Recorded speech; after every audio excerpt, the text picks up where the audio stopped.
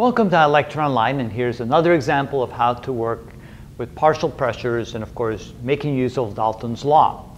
Here we have a mixture of three gases. We have um, methane, ethane, and propane in various amounts, 2 moles, 3 moles, and 5 moles respectively. They're kept in a container with a volume of 3.8 liters and at a temperature of 20 degrees centigrade. So now we're trying to find the partial pressure of ethane. So using Dalton's law, using the equation PV equals nRT, we can say that the ratio of the pressure caused by the ethane divided by the total pressure is equal to the number of moles of the ethane divided by the total number of moles in the entire gas mixture. So if we then, sub, then we bring the P, the total pressure over to the right side, we can say that the partial pressure of ethane is equal to the total pressure times the ratio of the number of moles of ethane in the mixture divided by the total number of moles in the entire mixture.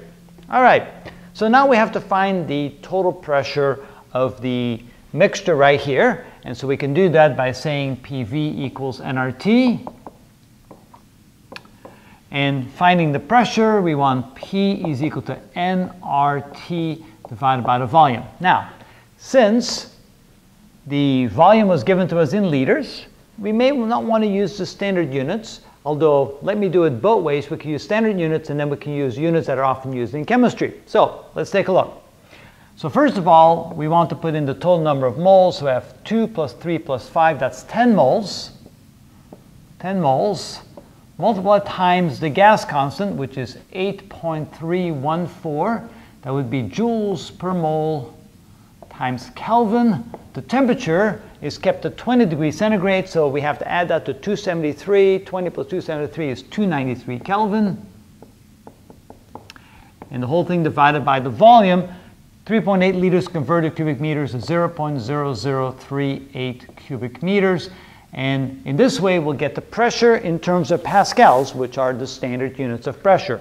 So I have 10 times 8.314 times 293 divided by 0.0038 equals, and so that gives us a total pressure of 6,410,000 pascals.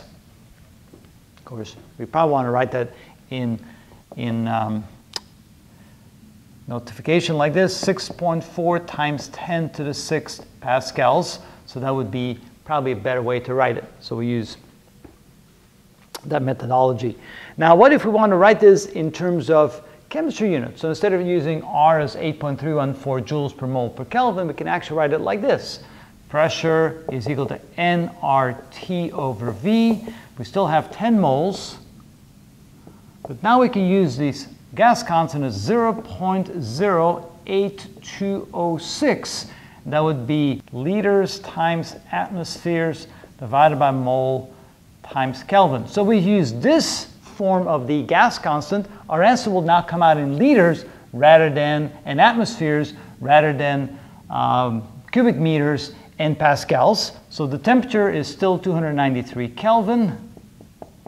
And divide the whole thing by the volume. Now instead of writing the volume in cubic meters, we can write the volume in liters, 3.8 liters.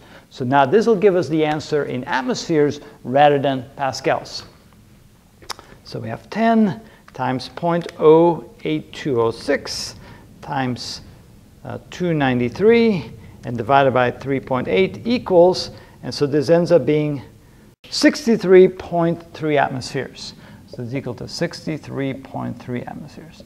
So we can either use the pressure in atmospheres or the pressure in Pascal. So this is, of course, total pressure.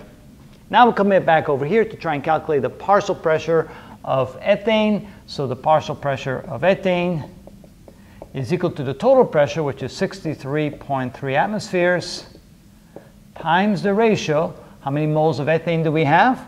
Looks like we have three. How many moles of total of the total gas? 2 plus 3 is 5, plus 5 is 10. So it'd be 3 tenths of that. So uh, times 0.3 equals, and so the partial pressure of the ethane in the total mixture of that gas is about 19.0 atmospheres. And that's how we do that. So very straightforward.